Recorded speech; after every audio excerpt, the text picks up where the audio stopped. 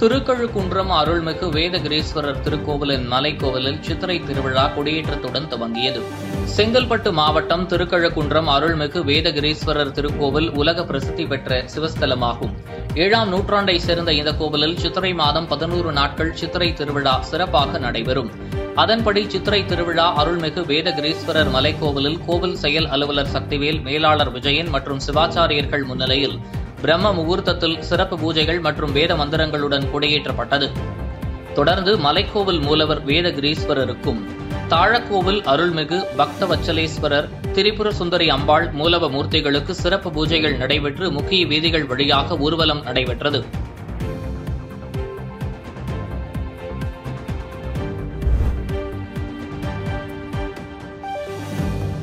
சூறை காற்றால் இரண்டு லட்சம் வாழை மரங்கள் சேதம். அரசு நிவாரணம் வழங்க விவசாயிகள் வலியுறுத்தல். கிருஷ்ணகிரி மாவட்டம் ஊத்தங்கரை ஒன்றியத்துக்குட்பட்ட மாவட்ட எல்லைப் பகுதியில் கொடகானூர் கிராமம் அமைந்துள்ளது. இப்பகுதி மக்கள் வாழையை பிரதான தொழிலாக பயிரிட்டு வருகின்றனர். இந்நிலையில் வீசிய பலத்த சூறைக்காற்றால் வாழை மரங்கள் சாய்ந்து மரத்தில் உள்ள வாழைக்காய் மரத்திலேயே அழுகும் அவலம் ஏற்பட்டுள்ளது. இது மட்டுமின்றி பயிரிட்டு வந்த பப்பாளி மரங்கள் வேருடன் சாய்ந்துள்ளன. சூறைக்காற்றால் பாதிக்கப்பட்ட விவசாய நிலங்களை அரசு நேரடியாக கள ஆய்வு செய்து விவசாயிகளுக்கு அரசு உரிய நிவாரணம் வழங்க வேண்டும் என அந்த பகுதி மக்கள் மற்றும் விவசாயிகள் கோரிக்கை விடுத்துள்ளனர். அதி வேகமான காத்தனால என்ன பண்ணுச்சு? என் நெல் புல்லது மாதிரி சாஞ்சிருச்சு தென்னை மரம் சாஞ்சிருக்கு. அதிக இழப்பீடு நான் என்ன பண்ணுறது ஏது பண்ணுறதுன்னு தெரியல. படிப்பு வேலை இல்லாதனால தான் இதெல்லாம் இறங்கினா இப்போ இதுவும் இது மாதிரி ஆகிப்போச்சு தென்னை மரம் தென்னை மரமும் உடஞ்சிருச்சு. எந்த அதிகாரியும் யாரும் வந்து இன்ன வரைக்கும் எதுவும் வந்து பார்க்கல. ரெண்டு ஏக்கரம் வாழை போட்டிருந்தோங்க. வெட்டு வர டைமு பூரா காற்று அடித்து நேற்று பேஞ்சு மழை காற்று ஜாஸ்தி அடித்து பூரா படுத்துக்குச்சுங்க. ஏதோ எங்களுக்கு கஷ்டம். எந்த ஒரு தொழிலும் பண்ண முடியல. எங்களுக்கு அதுதான் தொழிலே. அதுக்கு ஏதோ ஒன்று கவர்மெண்ட் பார்த்து எங்களுக்கு ஏதோ உதவி செய்யணும். பக்கத்து காட்டு அக்கத்து காட்டு எல்லாமே அதே வே தொழில் தான் அதை நீங்கள் பார்த்து ஏதோ ஒன்று நிவாரணம் கொடுக்கணும்னு கேட்டு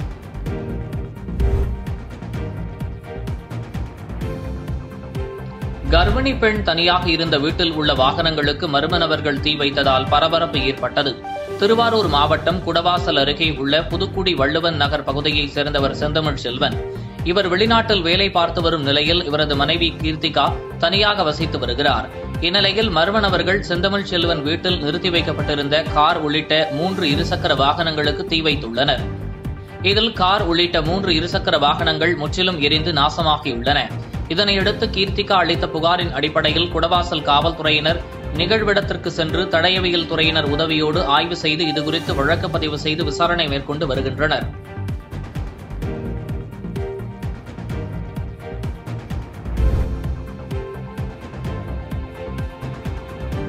கேரளாவிலிருந்து கொண்டுவரப்பட்ட கள்ள நோட்டுகளை போலீசார் பறிமுதல் செய்து தீவிர விசாரணை மேற்கொண்டு வருகின்றனர். திருச்சி மாவட்டம் மணப்பாறையை அடுத்த வையம்பட்டியில் Vaiyampatti police sub inspector Thangasamy போலீசாருடன் வாகன சோதனையில் ஈடுபட்டார். அப்போது அங்கு வந்த சொகுசு காரை சந்தேகத்தின் அடிப்படையில் போலீசார் தடுத்து நிறுத்தி சோதனை மேற்கொள்ள முயன்றபோது காரில் வந்த மூன்று பேர் அங்கிருந்து தப்பியோட முயற்சித்துள்ளனர். சுதாரித்துக் கொண்ட போலீசார் மூன்று பேரையும் மடக்கி பிடித்து போலீஸ் நிலையத்திற்கு அழைத்து சென்று விசாரணை மேற்கொண்டனர். மேலும் பறிமுதல் செய்யப்பட்ட காரில் இரண்டாயிரம் ரூபாய் கள்ள நோட்டுகள் நாற்பத்தி இரண்டு கட்டுக்களாக எண்பத்து நான்கு லட்சம் ரூபாய் இருந்தது தெரியவந்தது. மேலும் இந்த சம்பவத்தில் ஈடுபட்ட கோவை கே. கே. புதூரை சேர்ந்த பார்த்தசாரதி காளப்ப நாயக்கன் பாளையம் கணுவாய் பகுதியைச் சேர்ந்த ஓட்டுநர் சதீஷ் சுந்தர் வையம்பட்டி லட்சம்பட்டியைச் சேர்ந்த தங்கவேல் ஆகிய மூன்று பேரை கைது செய்தனர்.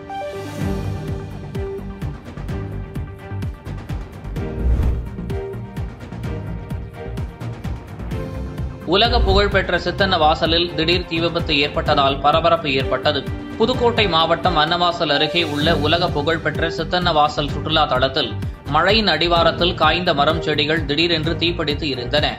காற்று பலமாக அடித்ததால் கீழே இருந்த தீ மளமளவென மலைப்பகுதிக்கும் சென்றது. மேலும் இலுப்பூர் புதுக்கோட்டை சிப்காட் ஆகிய பகுதிகளிலிருந்து தீயணைப்பு வாகனங்கள் விரைந்து சென்று மூன்று மணி நேரம் போராடி தீயை அணைத்தனர். இந்த தீ விபத்து குறித்து அன்னவாசல் காவல் நிலையத்தில் வழக்கு பதிவு செய்து விசாரணை மேற்கொண்டு வருகின்றனர்.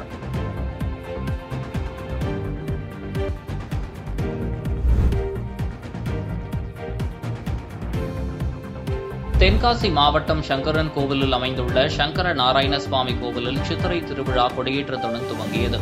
இதில் சங்கரர் சன்னதி முன்பு அமைந்துள்ள கொடிமரத்திற்கு மஞ்சள் பால் தயிர் வாசனை திரவியங்களால் அபிஷேகம் செய்யப்பட்டு வேத மந்திரங்கள் முழங்க கொடியேற்ற நிகழ்ச்சி நடைபெற்றது.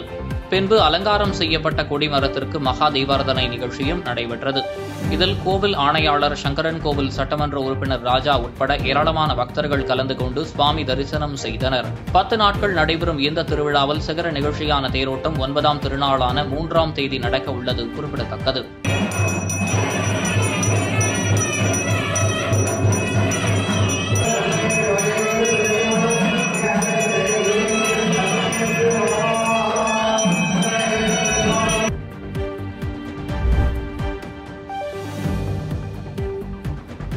கன்னியாகுமரி மாவட்டம் நாகர்கோவில் அருகே உள்ள திருப்பதி சாரம் திருவாழ் மார்பன் கோவிலில் இந்த ஆண்டுக்கான சித்திரை திருவிழா கொடியேற்றம் நடைபெற்றது. இதில் அப்பகுதியைச் சேர்ந்த ஏராளமான பக்தர்கள் கலந்து கொண்டு சுவாமி தரிசனம் செய்தனர். மேலும் பத்து நாட்கள் நடைபெறும் இந்த திருவிழாவில் முக்கிய நிகழ்வான தேரோட்டம் ஒன்பதாம் நாள் நடைபெறும். இந்த நிகழ்ச்சியில் தமிழக இந்து சமய அறநிலையத்துறை அமைச்சர் சேகர் பாபு அமைச்சர் மனோ தங்கராஜ் உள்ளிட்டோர் பங்கேற்க இருப்பதாக கோவில் நிர்வாகத்தினர் தெரிவித்துள்ளனர்.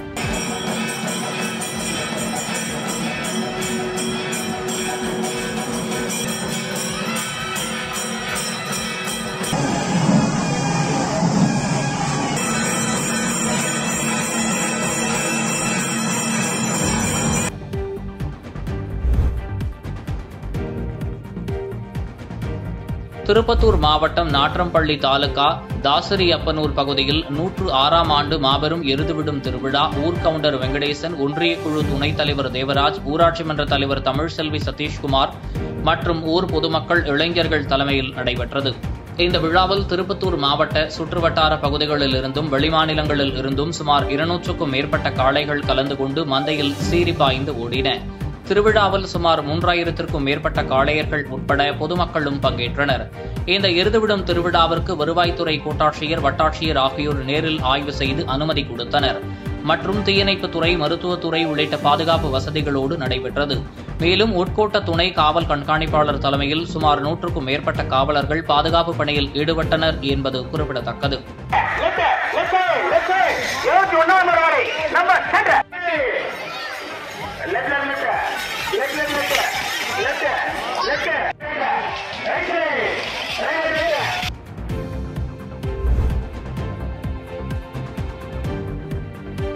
நீலகிரி மாவட்டம் கோத்தகிரி பேரூராட்சிக்குட்பட்ட ரைஃபிள் ரேஞ்ச் பகுதியில் வீட்டின் கூரையில் பாம்பு ஒன்று பதுங்கியிருப்பதாக கோத்தகிரி வனத்துறையினருக்கு தகவல் கிடைத்துள்ளது.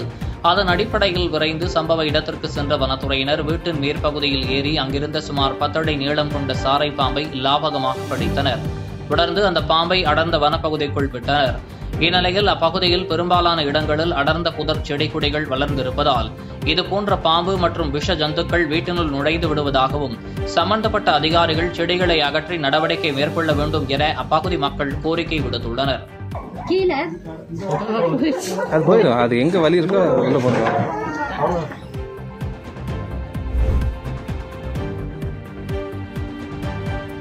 திருப்பூர் மாவட்டம் பல்லடத்தை அடுத்த அலகுமலையில் ஜல்லிக்கட்டு உற்சாகமாக தொடங்கியது. காளைகளை அடக்க ஐநூறு மாடுபடி வீரர்கள் களத்தில் உள்ளனர். ஐநூற்று ஐம்பது காளைகள் கலந்து கொள்கின்றன. திருப்பூர் மாவட்ட நிர்வாகம் மற்றும் அலகுமலை ஜல்லிக்கட்டு காளைகள் நலச்சங்கம் சார்பில் நடைபெற்ற இந்த ஜல்லிக்கட்டு போட்டியினை தமிழக செய்தித்துறை அமைச்சர் மு. போ. சுவாமிநாதன் கொடியசைத்து துவக்கி வைத்தார். இந்த விழாவில் திருப்பூர் மாவட்ட ஆட்சியர் வினீத் மாவட்ட காவல் கண்காணிப்பாளர் சஷாங்க் சாய் ஆகியோர் கலந்து கொண்டனர். மேலும் விலங்குகள் கண்காணிப்பு குழுவிலிருந்து அதன் உறுப்பினர் மிட்டல் மற்றும் டாக்டர் ஆயுப் கான் ஆகியோர் ஜல்லிக்கட்டு போட்டியினை கண்காணிக்கின்றனர். இதனையொட்டி அழகுமலை பகுதியில் ஆயிரத்து முன்னூறு போலீசார் பாதுகாப்பு பணியில் குவிக்கப்பட்டுள்ளனர். தம்பி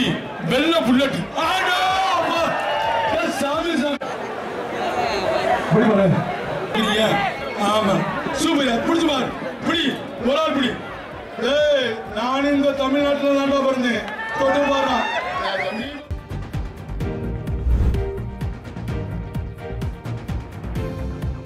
கள்ளழகர் சித்திரை திருவிழாவை முன்னிட்டு மே ஐந்தாம் தேதி மதுரை மாவட்டத்திற்கு உள்ளூர் விடுமுறை அறிவித்து மாவட்ட ஆட்சியர் அறிவிப்பு வெளியிட்டுள்ளார். மதுரை மாவட்டம் அழகர் கோவில் மலையடிவாரத்தில் அமைந்துள்ள கள்ளழகர் திருக்கோவில் சித்திரை திருவிழா வரும் முப்பதாம் தேதி தொடங்கி நடைபெறவுள்ளது இந்த நிலையில் விழாவின் முக்கிய நிகழ்வாக கள்ளழகர் வைகை ஆற்றில் எழுந்தருளும் நிகழ்வானது ஐந்தாம் தேதி நடைபெறவுள்ளது இதனையொட்டி வைகை ஆற்றில் கள்ளழகர் எழுந்தருளக்கூடிய ஆழ்வார்புரம் பகுதியில் மதுரை மாவட்ட ஆட்சியர் அனீஷேகர் மாநகராட்சி ஆணையாளர் சிம்ரன்ஜித் சிங் மற்றும் மாநகர காவல் ஆணையர் நரேந்திரன் நாயர் சட்டமன்ற உறுப்பினர்கள் பூமிநாதன் தளபதி மற்றும் அனைத்து துறை அதிகாரிகள் நேரடியாக ஆய்வு மேற்கொண்டனர். இதனைத் தொடர்ந்து செய்தியாளர்களை சந்தித்து பேசிய மாவட்ட ஆட்சியர் அனீஷேகர் கள்ளழகர் வைகை ஆற்றில் எழுந்தருளும் விழாவிற்கு வருகை தருவதற்காக அரசு சார்பில் சிறப்பு பேருந்துகள் இயக்கப்படும் என தெரிவித்தார்.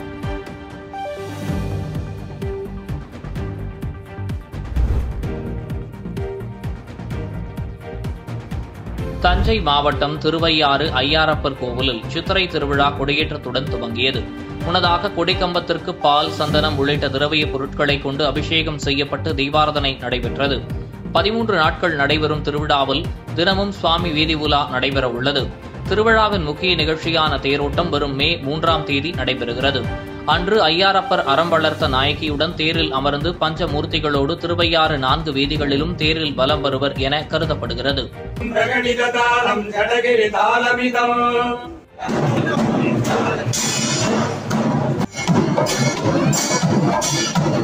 Thank you.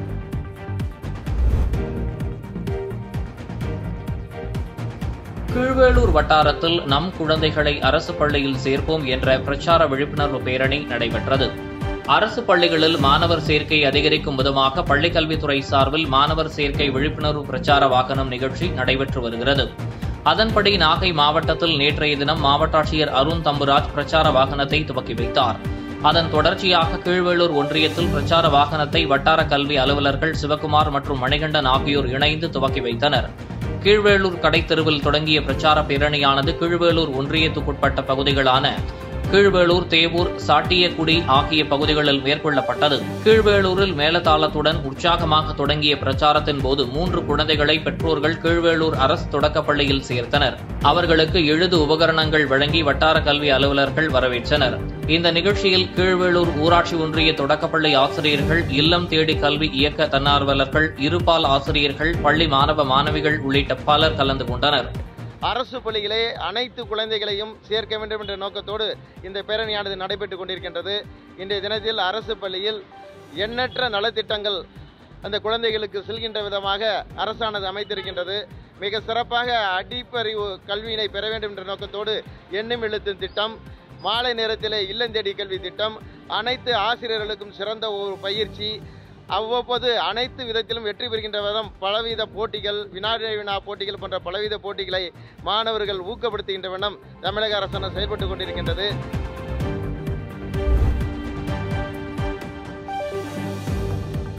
வந்தவாசி அருகே பெட்ரோல் பங்க் ஊழியர்கள் மீது தாக்குதல் நடத்தப்பட்ட சம்பவம் பரபரப்பை ஏற்படுத்தி உள்ளது.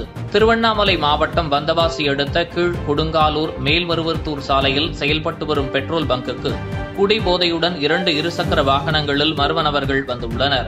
அப்போது இலவசமாக பெட்ரோல் போட கூறி பெட்ரோல் பங்க் ஊழியர்களிடம் வலியுறுத்தியுள்ளனர். இதற்கு மறுத்த பெட்ரோல் பங்க் ஊழியர்கள் மீது சரமாரி தாக்குதல் நடத்தியுள்ளனர். இதுகுறித்து புகாரின் அடிப்படையில் கீழ் கொடுங்காலூர் போலீசார் விசாரணை செய்து வரும் நிலையில். இது தொடர்பான சிசிடிவி காட்சிகள் வெளியாகி அதிர்ச்சியை ஏற்படுத்தி வருகின்றது.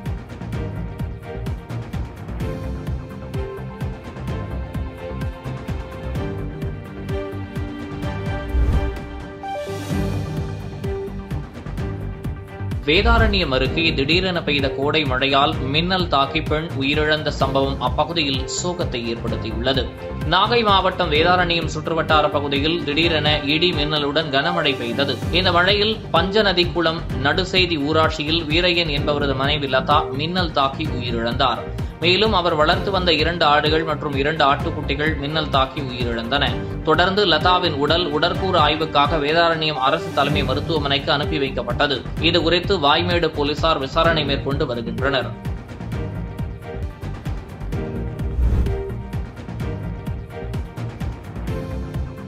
தேனி மாவட்டம் ஆண்டிப்பட்டி அருகே உள்ள ஜம்புலிபுத்தூரில் அமைந்துள்ள பழமை வாய்ந்த ஜம்புலிபுத்தூர் கதலி நரசிங்க பெருமாள் கோவிலில் தேர் திருவிழா கொடியேற்ற நிகழ்ச்சி நடைபெற்றது.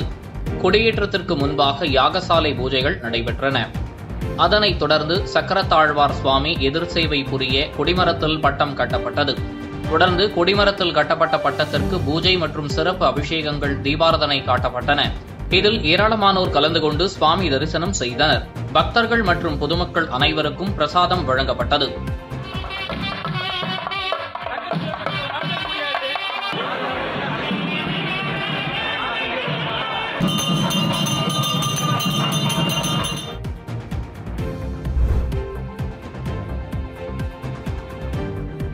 கடுமையான குடிநீர் தட்டுப்பாட்டை போக்க பேச்சிப்பாறை அணையிலிருந்து ஐம்பது கன அடி தண்ணீர் திறக்கப்பட்டது.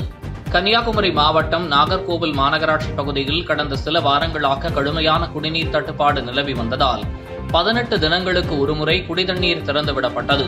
நாகர்கோவிலுக்கு குடிநீர் வழங்கும் நீர் ஆதாரமான முக்கூடல் அணை வறண்டு விட்டதால் பேச்சிப்பாறை அணையிலிருந்து தண்ணீர் திறக்க கோரிக்கையை ஏற்று தமிழக அரசு அனுமதி அளித்தது. இதனைத் தொடர்ந்து அணையிலிருந்து ஐம்பது கன அடி தண்ணீர் திறக்கப்பட்டது. இந்த தண்ணீர் வரும் மே மாதம் முப்பத்தி ஒன்றாம் தேதி வரை முக்கடல் பகுதி வரை கொண்டுவரப்பட்டு அங்கிருந்து நீரேற்றம் செய்யப்பட்டு நாகர்கோவிலுக்கு குடிநீர் விநியோகம் செய்யப்பட உள்ளது என மாநகராட்சி மேயர் மகேஷ் செய்தியாளர்களுக்கு அளித்த பேட்டியின் மூலம் தெரிவித்துள்ளார். ஐம்பது கன அடி வினாடிக்கு இன்றிலிருந்து இருபத்தைந்து நாலு ரெண்டாயிரத்தி இருபத்தி மூன்றிலிருந்து முப்பத்தி ஒன்று ஐந்து ரெண்டாயிரத்தி இருபத்தி மூன்று வரை நாகர்கோவில் மாநகராட்சிக்கு குடிநீர் வழங்க முக்கடல் அணைக்கு நீர் வழங்குவதற்கு அரசாணையே அறிவித்தார்கள். அவர்களுக்கும் மாண்புமிகு தமிழ்நாடு முதலமைச்சர் அவர்களுக்கும் நன்றியினை தெரிவித்துக் கொள்கின்றேன்.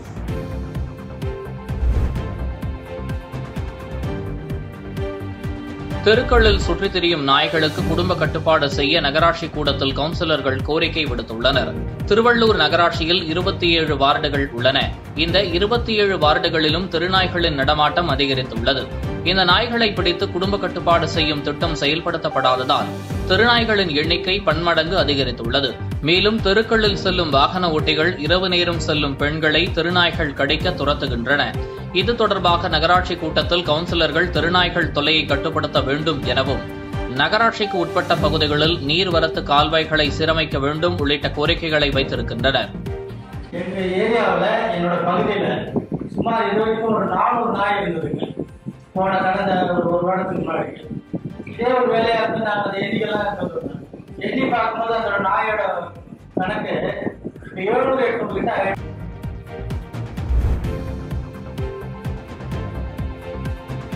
பனிரண்டு மணி நேர வேலை சட்ட மசோதாவை வரவேற்கிறோம் என்று அனைத்து கட்சிகளும் தமிழ்நாட்டின் தொழிலாளர்கள் வளர்ச்சிக்காக ஆதரிக்க வேண்டும் என்றும் திண்டுக்கல்லில் செய்தியாளர்களுக்கு பேட்டியளித்த வணிகர் சங்க பேரமைப்பு தலைவர் விக்ரமராஜா தெரிவித்துள்ளார். பனிரெண்டு மணி நேரம் வேலை என்பதை முதலமைச்சர் அறிவித்திருந்தார்கள். அதை இன்முகத்தோடு நாங்கள் வரவேற்பது உண்டு. இந்த காலச்சூழல் முதலமைச்சருக்கு நன்கு தெரியும்.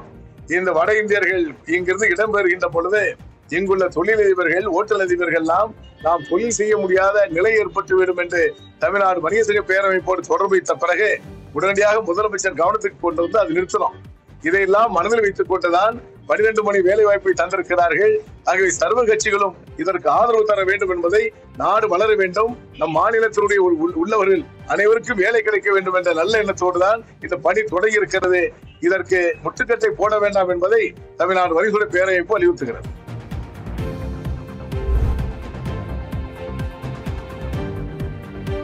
காஞ்சிபுரம் அருகே போர்வெல் பணியில் ஈடுபட்ட பதினைந்து வயது சிறுவன் உயிரிழந்த சம்பவம் சோகத்தை ஏற்படுத்தியுள்ளது. காஞ்சிபுரம் மாவட்டம் மேல் சிறுமையை சேர்ந்த கோடீஸ்வரன் என்பவர் பாலுச்செட்டி சத்திரம் பகுதியில் உள்ள தனது வீட்டுமனை பகுதியில் புதிய வீடு கட்ட முதல் கட்ட பணியாக போர்வெல் அமைக்க புத்தேரி தெருவை சேர்ந்த குமரன் போர்வெல் நிறுவனத்தை நாடியுள்ளார். அதன் அடிப்படையில் அந்த நிறுவனத்தை சேர்ந்த பதிமூன்று பேர் இப்பணியை துவக்கியுள்ளனர். இருபது அடி உயரத்தில் இரும்பு பைப்புகளை இணைக்கும் போது மேகாராம் என்பவர் மீது விழுந்ததில் தலையில் பலத்த காயமடைந்து சம்பவ இடத்திலேயே உயிரிழந்தார். தகவலின் அடிப்படையில் சம்பவ இடத்திற்கு சென்ற பாலுச்செட்டி காவல் நிலைய போலீசார் உயிரிழந்த மேகாராம் உடலை கைப்பற்றி பிரேத பரிசோதனைக்காக காஞ்சிபுரம் அரசு தலைமை மருத்துவமனைக்கு அனுப்பி வைத்து இதுகுறித்து வழக்கு பதிவு செய்து விசாரணை மேற்கொண்டு வருகின்றனர்.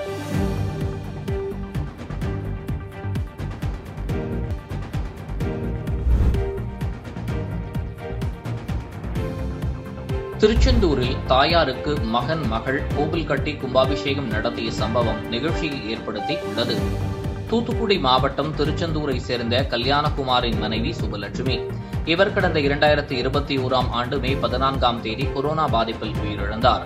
இந்நிலையில் அவருடைய மகள் ஜெய்சங்கரி மகன் ராகவேந்திரா ஆகியோர் உயிரிழந்த தனது தாயாருக்கு கோவில் கட்ட முடிவு செய்தனர். இதற்காக வீரபாண்டியன் பட்டினம் குறிஞ்சி நகரில் சுப்புலட்சுமி என்ற ஒரு கார்டனை உருவாக்கி அதில் சுமார் மூன்றாயிரம் சதுர அடி பரப்பளவில் நாற்பது லட்சம் ரூபாய் செலவிட்டில் அன்னை சுபலட்சுமி என்ற பெயரில் கோவில் கட்டியுள்ளனர். மேலும் இந்த கோவிலில் சுபலிங்கேஸ்வரர் என்ற சிவலிங்கத்தையும் ராஜகணபதி விநாயகரையும் பிரதிஷ்டை செய்து கும்பாபிஷேகம் நடத்தி பக்தர்களுக்கு அன்னதானம் வழங்கியுள்ளனர். எங்கள் அம்மாவுக்கு நாங்கள் ஏன் கோயில் கட்டினோம் அப்படின்னா நாங்கள் ஒரு நாலு பேர் குடும்பமாக சந்தோஷமாக இருந்துக்கிட்டு இருந்தோம். ஸோ அதில் வந்து எல்லாத்தையுமே பார்த்துக்கிட்டது அஸ்திவாரமாக இருந்தது அம்மா தான். கொரோனாங்கிற கொடிய நோய் திடீர்னு வந்துட்டு போனதுனால அம்மா எங்களை விட்டு மறையக்கூடாதுங்கிறதுக்காக நிரந்தரமாக என் காலத்துக்கு அப்புறமும் எங்களுடைய சங்கதியர்களுக்கு குலதெய்வமாக இருக்கணும்னு நான் வந்து நினைக்கிறேன். அம்மாவுக்கு ஒரு கோயில் மட்டும் இல்லாமல் ஒரு அறக்கட்டளையை நிர்வகித்து அதன் மூலமாக திருச்செந்தூர் சுற்று வட்டாரத்தில் சுபலக் சுபலக் சுபலட்சுமி சேரிட்டபிள் ட்ரஸ்ட்டுன்னு ஒன்று உருவாக்கி அதன் மூலமாக கல்விக்காகவும் முதியோர்களுக்காகவும் இந்த இடத்துல உருவாக்கணும்னு நாங்கள் நினச்சிக்கிட்டு இருக்கோம். அம்மாவுக்கு கோயில் மட்டும் இல்லாமல் அம்மா பேரில் ஒரு வீதியவே உருவாக்கியிருக்கோம். திருச்செந்தூர் முழுக்க இரும சுபலட்சுமி அறக்கட்டளை மூலமாக நிறைய அறக்காரியங்கள் செய்யலாம்னு சொல்லிட்டு நானும் என் சகோதரி ஜெயசங்கரியும் சேர்ந்து முடிவெடுத்திருக்கோம். அம்மாவோட அருள் அது எங்களுக்கு பண்ணி கொடுக்குங்கிற நம்பிக்கை எனக்கு இருக்குது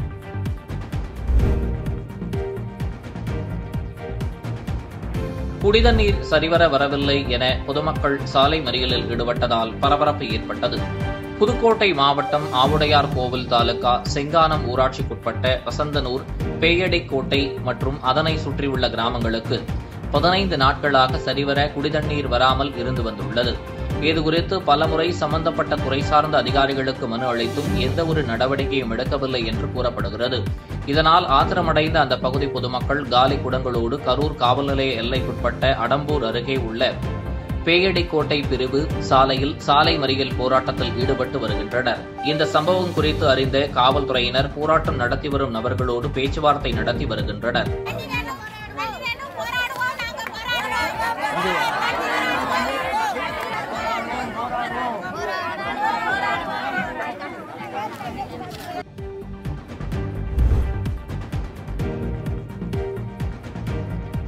மதுரை திருப்பரங்குன்றம் சுரங்கப்பாதையில் நேற்று பெய்த கனமழையினால் தேங்கிய மழை நீரினால் சுரங்கப்பாதை வழியாக வந்த அரசு பேருந்து அதில் சிக்கி தவித்தது.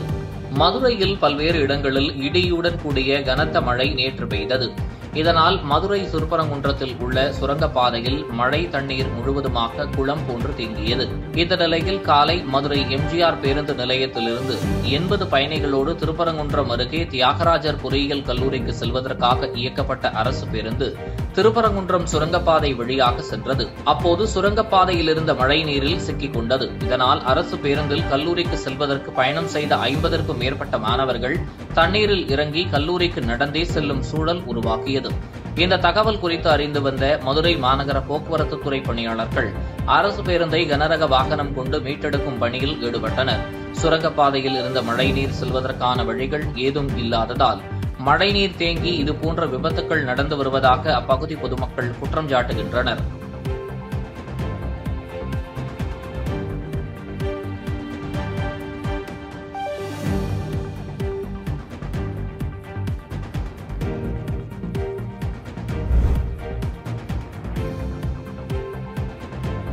மயிலாடுதுறை அருகே புதிய டிரான்ஸ்பார்மருக்கு மின் இணைப்பு வழங்க கோரி பொதுமக்கள் சாலை மறியலில் ஈடுபட்டதால் பரபரப்பு ஏற்பட்டது. மயிலாடுதுறை மாவட்டம் தில்லியநல்லூர் ஊராட்சி உச்சித மங்கலம் கிராமத்தில் சுமார் நூற்று ஐம்பதற்கும் மேற்பட்ட குடும்பங்கள் வசித்து வருகின்றனர். இந்நிலையில் அப்பகுதி மக்களின் கோரிக்கையை நிறைவேற்றும் விதமாக கடந்த இரண்டு மாதங்களுக்கு முன்பு உச்சிதமங்கலம் கிராமத்தில் அறுபத்து மூன்று கிலோ வாட்டில் புதிய டிரான்ஸ்பார்மர் அமைக்கப்பட்டது. ஆனால் இதுநாள் வரை மின் இணைப்பு வழங்கப்படாததை கண்டித்து உச்சிதமங்கலம் வார்டு உறுப்பினர் சுபாஷ் தலைமையில் உச்சிதமங்கலம் சாலையில் அப்பகுதி பொதுமக்கள் திடீர் சாலை மறியல் போராட்டத்தில் ஈடுபட்டனர். தகவல் அறிந்து சம்பவ இடத்திற்கு வந்த மின்வாரிய அதிகாரிகள் மற்றும் மணல்மேடு போலீசார் போராட்டக்காரர்களிடம் பேச்சுவார்த்தையில் ஈடுபட்டனர். உடனடியாக புதிய டிரான்ஸ்பார்மருக்கு மின்சாரம் வழங்கப்படும் என மின்வாரிய அதிகாரிகள் வாக்குறுதி அளித்து அதற்கான பணியை தொடங்கியதால் போராட்டக்காரர்கள் கலைந்து சென்றனர். இதனால் மயிலாடுதுறையிலிருந்து மணல்மேடு செல்லும் சாலையில் ஒரு மணி நேரம் போக்குவரத்து பாதிக்கப்பட்டது.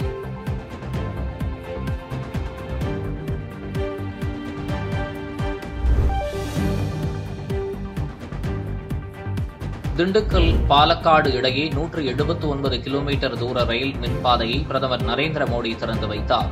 திண்டுக்கல் பாலக்காடு இடையே நூற்று எழுபத்து ஒன்பது கிலோமீட்டர் தூர ரயில் மின்பாதையில் ரயில் சோதனை ஓட்டம் நடத்தி முடிக்கப்பட்டுவிட்டது இதைத் தொடர்ந்து திண்டுக்கல் பாலக்காடு ரயில் மின்பாதையை திறந்து வைக்கும் நிகழ்ச்சி நடைபெற்றது. இதனை பிரதமர் நரேந்திர மோடி திருவனந்தபுரத்தில் நடைபெறும் விழாவில் இருந்தபடி காணொலி காட்சி மூலம் திறந்து வைத்து நாட்டுக்கு அர்ப்பணித்தார். இதில் பழனி சட்டமன்ற உறுப்பினர் ஐ பி செந்தில்குமார் மேலும் முக்கிய பிரமுகர்கள் ரயில்வே அதிகாரிகள் பழனி கோட்டாட்சியர் என பலரும் கலந்து கொண்டனர்.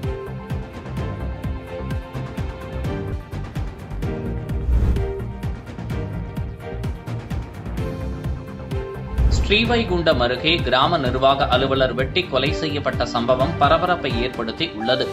தூத்துக்குடி மாவட்டம் புதுக்கோட்டை அருகே உள்ள சூசை பாண்டியாபுரம் கிராமத்தை சேர்ந்தவர் லூர்து பிரான்சிஸ். ஐம்பத்தி ஆறு வயதான இவர் வல்லநாடு அருகே உள்ள முரப்பநாடு கிராம நிர்வாக அதிகாரியாக பணிபுரிந்து வருகிறார்.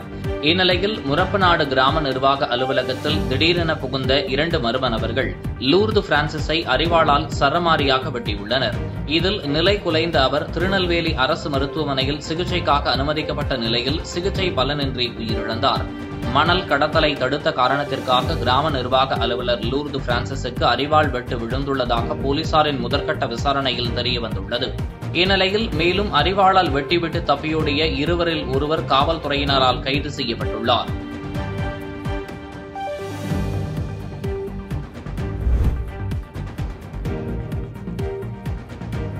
திருப்பூர் அருகே பெண்கள் குழந்தைகள் உட்பட நூற்றுக்கும் மேற்பட்டோர் மாவட்ட ஆட்சியர் அலுவலகத்தை முற்றுகை செய்து நடவடிக்கை எடுக்காத பட்சத்தில் போராட்டத்தில் ஈடுபடப் போவதாக எச்சரிக்கை விடுத்துள்ளனர். திருப்பூர் மாவட்டம் அவினாசி ஊராட்சிக்குட்பட்டது அ. குறும்பபாளையம். இந்த கிராமத்தில் ஆயிரத்திற்கும் மேற்பட்ட குடும்பங்கள் வசித்து வருகின்றனர். இந்நிலையில் இப்பகுதியில் டாஸ்மாக் கடை மற்றும் மணமகள் மன்றம் அமைப்பதற்கான நடவடிக்கையில் மாவட்ட நிர்வாகம் ஈடுபட்டு வருவதாக தகவல் வெளியானது. இந்த கிராமத்தை சுற்றி ஐந்திற்கும் மேற்பட்ட அரசு பள்ளிகள் இயங்கி வருவதாகவும் நூற்றுக்கும் மேற்பட்ட மாணவ மாணவிகள் கல்வி பயின்று வரும் நிலையில் டாஸ்மாக் கடை மற்றும் மணமகள் மன்றம் அமைந்தால் இப்பகுதியைச் சேர்ந்த பள்ளி மாணவ மாணவிகள் மற்றும் பெண்களுக்கு பாதுகாப்பு இல்லாத சூழ்நிலை ஏற்படும் என்பதை வலியுறுத்தி இதற்கு மாவட்ட நிர்வாகம் அனுமதி வழங்கக்கூடாது என்றும் அதையும் மீறி அனுமதி கொடுக்கும் பட்சத்தில் இப்பகுதியைச் சேர்ந்த பொதுமக்கள் போராட்டத்தில் ஈடுபடப் போவதாகவும் தெரிவித்தனர். பொதுமக்கள் எல்லாரும் தலைவர்கள் எல்லாருமே சேர்ந்து என்ன பண்ணிருக்கோம் இங்க வந்திருக்கிறோம். இது வரைக்கும் இப்போ உள்ள போய் நாங்க எங்க தலைவர்கள்லாம் என்ன பண்ணாங்க வட்ட மாவட்ட ஆட்சியர்கிட்ட மனு கொடுத்துட்டு வந்துட்டாங்க இப்ப அடுத்தபடியா நாங்க அவினாசி ஒன்றியத்தில் இருக்கிற வட்டாட்சியர்கிட்ட கொண்டு போய் மனு கொடுக்க போறோம். இந்த மனு கொடுக்கறதுனால வெறும் பேப்பர் காகிதமா அரசாங்கம் எடுத்துக்காம தயவு செஞ்சு ஏதாவது ஒரு நடவடிக்கைகளை முன்கொண்டு வந்து எங்க ஊருக்கு டாஸ்மாக் வேண்டாம். நாங்க பெண்கள் எல்லாருமே ஒற்றுமையா இருந்து செய்யறோம் உண்மையா இல்லையா? நாங்க எல்லாரும் இதுக்கு உறுதுணையா இருக்கிறோம். எங்களுக்கு டாஸ்மாக் வேண்டாம். திரும்பி மீறி வந்ததுன்னா நாங்க போராட்டத்துல இறங்குறதுக்கு தயார்.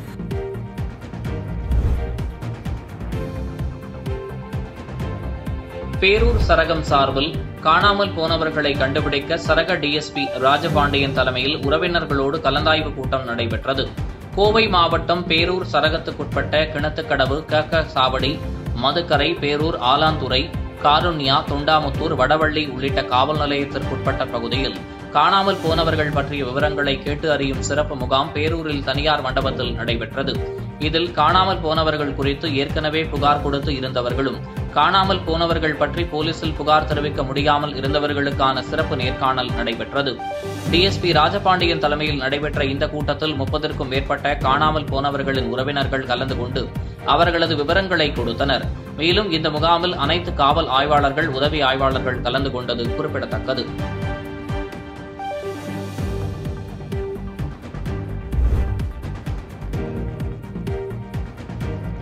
பொட்டல்புதூர் அருகே வீட்டில் சுற்றுச்சுவர் இடிந்து விழுந்து ஒன்றரை வயது பெண் குழந்தை பலியான சம்பவம் சோகத்தை ஏற்படுத்தி உள்ளது தென்காசி மாவட்டம் ஆழ்வார்குறிச்சி அருகே உள்ள பொட்டல்புதூர் பகுதியைச் சேர்ந்த கிருஷ்ணசாமி பிரேமா என்ற தம்பதிக்கு ஆதிரா என்ற ஒன்றரை வயதில் பெண் குழந்தை இருந்தது.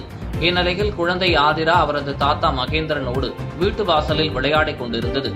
அப்போது அவரது வீட்டின் முன்பக்க சுற்றுச்சுவர் தரைமட்டமாக இடிந்து குழந்தை மீது விழுந்தது. இதில் படுகாயமடைந்த குழந்தை அம்பை அரசு மருத்துவமனைக்கு சிகிச்சைக்காக கொண்டு செல்லப்பட்டார். அங்கு பரிசோதித்த மருத்துவர் குழந்தை ஏற்கனவே இறந்துவிட்டதாக தெரிவித்தனர். மேலும் காயம் ஏற்பட்ட மகேந்திரன் மருத்துவமனையில் சிகிச்சை பெற்று வரும் நிலையில் இதுகுறித்து ஆழ்வார்குறிச்சி போலீசார் வழக்கு பதிவு செய்து விசாரணை மேற்கொண்டு வருகின்றனர்.